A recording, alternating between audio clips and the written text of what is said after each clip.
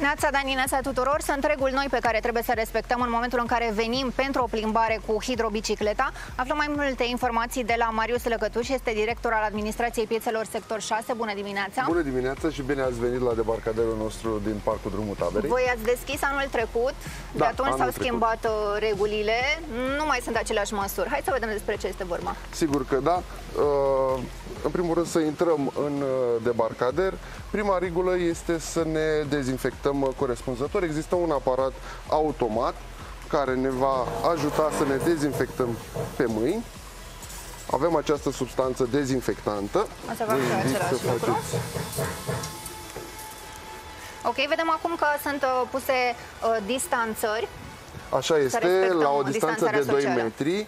Uh, tocmai pentru a reduce riscul uh, de îmbolnăvire cu acest nenorocit de virus, încercăm să luăm absolut toate măsurile care sunt necesare pentru a ne bucura de distracție și a ne bucura de o plimbare frumoasă cu hidrobicicleta. Și mai ales dacă va fi un număr atât de mare de oameni care să vină să stea la coadă, vor trebui să stea pe, acest, pe acești da. pași da. în așa fel încât să respecte uh, distanțarea socială. Vom face acest, uh, acest uh, este traseu. Este un traseu uh, stabilit împreună cu, în detaliu, împreună cu primarul sectorului 6.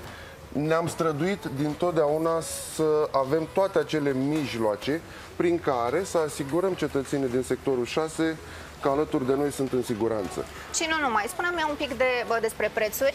Uh, practicăm unul dintre cele mai mici prețuri uh, din București. Este vorba de 10 lei pe oră pentru o hidrobicicletă. Asta înseamnă uh, o familie din 4 persoane va plăti 2 lei și jumătate pentru fiecare persoană din hidrobicicletă.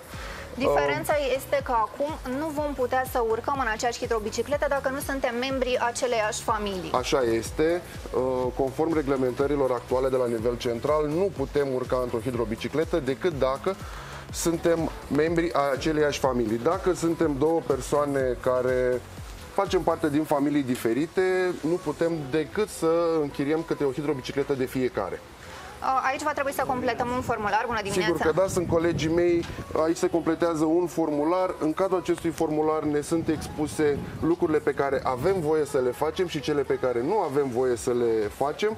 Sunt foarte puține, sunt la îndemâna uh, oricui durează maxim un minut, cu buletinul uh, putem închiria o hidrobicicletă. Ok, avem nevoie de buletin să facem dovadă că Sigur suntem din aceeași da. familie? Sigur că da, sigur că da. Ok, haideți să ne și urcăm. Vă invit și rog și pe colegii mei cu ocazia aceasta să mă ajute să dezlegăm hidrobicicleta. Noi va trebui să folosim uh, hidrobiciclete diferite, Așa este. tocmai, că, tocmai pentru că nu facem parte aceste, din aceeași familie. Aceste reguli, exact. Trebuie să dăm noi exemplu și să respectăm aceste norme. Vă invit să luați loc, colegii mei vă vor uh, ajuta. Uh, Spunem pe final programul. Programul este de la ora 10 la ora 21 în fiecare zi, de marți până duminică. Luni este ziua în care uh, aplicăm partea de mentenanță. După fiecare persoană, utilizator, să știți că dezinfectăm cu dezinfectant uh, avizat uh, hidrobicicleta. Asta ca să ne simțim în siguranță. Nu avem nevoie de vestă pentru că apa, apa are 70 de centimetri. Nu, maxim putem să ne... Nici măcar nu le lovim, nici măcar nu ne udăm. Maxim putem să ne udăm. Mai mult de atât nu se poate.